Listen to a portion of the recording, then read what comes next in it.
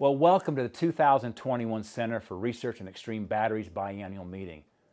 And thanks for inviting me to share a few words. As a son of a U.S. Marine from Billings, Montana, I know very well that victory often rests with the force on the ground. Today's soldiers rely on technology more than ever before. And this reliance has steadily increased the load on our young men and our young women who must bear these loads in very hostile environments. Your work will undoubtedly save lives and make our military more effective by giving our soldiers more flexibility, longer reach, and greater endurance. I'm proud to support this effort and was pleased to be able to secure substantial funding specifically for this research just last month. I'm proud to see my alma mater, Montana State University, taking a prominent role among the National Consortium of Research Universities, industry, and federal partners. All I got to say is, go cats.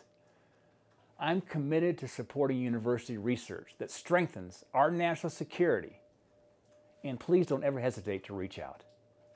Thanks again and God bless.